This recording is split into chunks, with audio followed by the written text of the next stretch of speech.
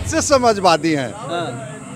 हमारी जात ही समझवादी है। ये बताइए जो यादव हैं सारे यादव समाजवादी पार्टी के होते हैं? लेकिन भारतीय जनता पार्टी धोखेबाज पार्टी है। समाजवादी पार्टी ने ओम प्रकाश राजभर को उत्तर प्रदेश की राजनीति में बोलने लायक बनाया। भाजपा के तमाम नेताओं का वीडियो मैं आपको दिखा सकता हूँ जिन्होंने कहा है कि संविधान को बदलने के लिए हमें 400 पार जाना ही होगा।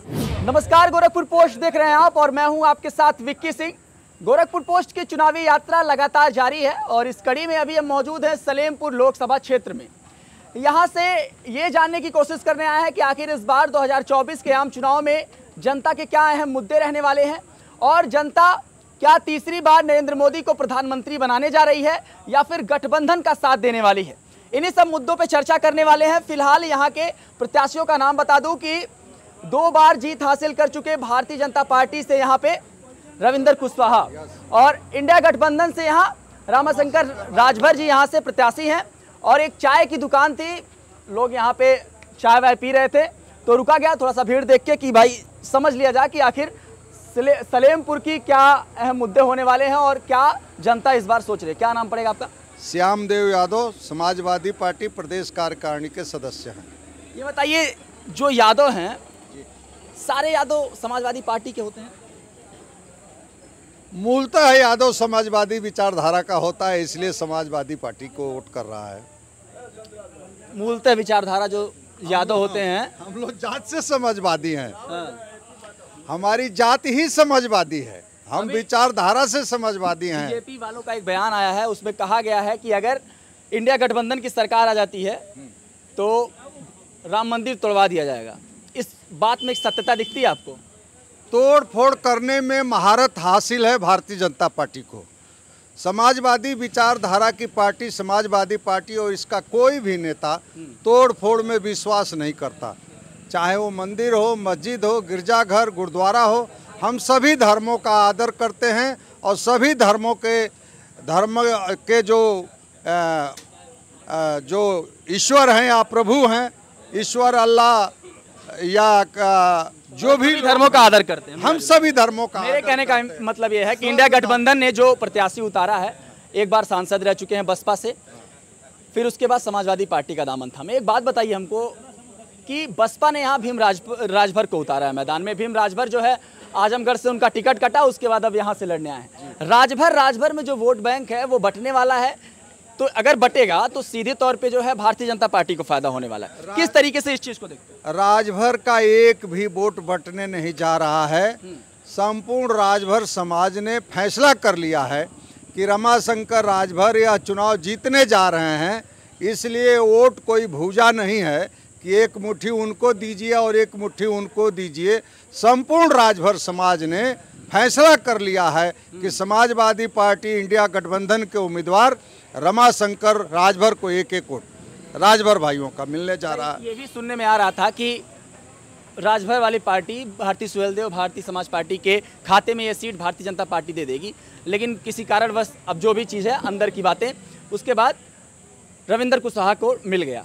तो ये ये कुछ अलग हुआ या फिर अगर राजभर के खाते में ये वो अ, सीट जाती तो कुछ अलग देखने को मिलता? देखिए भारतीय जनता पार्टी और उसके गठबंधन का अंदरूनी मामला है मैं उस पर कुछ बोलना नहीं चाहता हूँ लेकिन भारतीय जनता पार्टी धोखेबाज पार्टी है।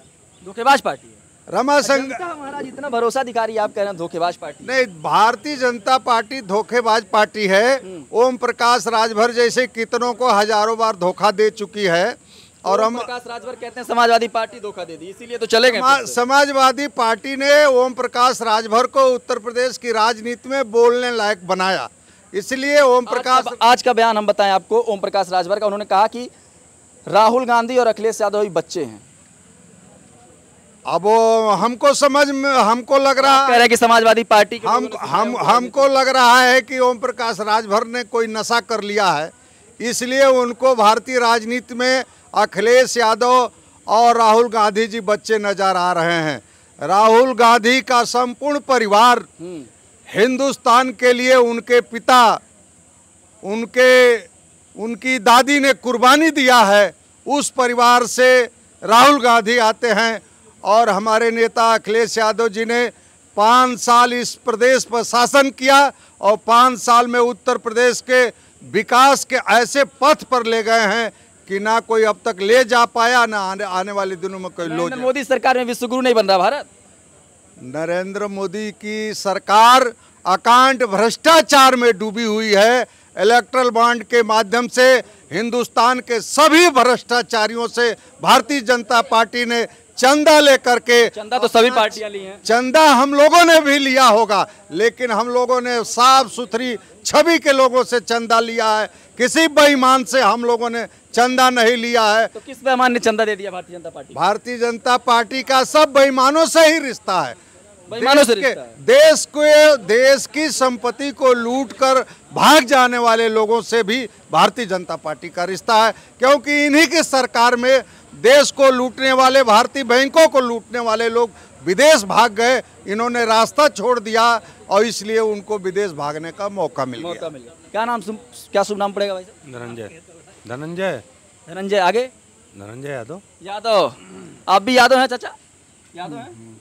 आप भी यादव हैं? नहीं, निर्मल मालवी प्रसाद निर्मल। अच्छा वो भी समाज से आते हैं। यही हम ये कह रहे थे कि यादव जहाँ ज़्यादा होते हैं वो समाजवादी पार्टी तनी सब तगड़ा मनाती है। है ना? नहीं देखिए विचारधारा की बात है हाँ। कि ये कोई ज़रूरी नहीं अच्छा है। एक बात बताइए दो दो चार टू ऐसा यादव हैं आपको जो लगता है कि भारतीय जनता पार्टी के विचारों से इत्तेफाक रखते हो? वो इत्तेफाक की बात है कि एक दो चार लोग हो सकते हैं कि जो भारतीय जनता के अच्छा, एक वो एक मिनट मेरी बात तो कंप्लीट हो जाएगी। वो पर्सनल अपने फ़ायदे के लिए भारतीय जनता पार्टी से जुड़े हैं। उनको सामाजिक समा कोई विचारधारा नहीं है उनका कोई सामाजिक सरोकार नहीं है उनको राजनीति से दूर दूर तक कोई मतलब नहीं है। वो व्यक्तिगत लाभ अपने लाभ के लिए वो भारतीय जनता पार्टी से जुड़े हुए हैं। ये बताइए भारतीय जनता पार्टी जो 400 पार वाला नारा दे रही है वो 400 पार में से एक सीट यहाँ से निकलने वाली है भारतीय जनता पार्टी की? चार सौ पार का नारा भारतीय जनता पार्टी आज दे रही है। जो जातियाँ हैं जो पचासी परसेंट जनसंख्या है हमारे देश की एस टी एस सी और ओबीसी की इनको खत्म करने जा रही है ये बीजेपी। आज दिन से दे रही है।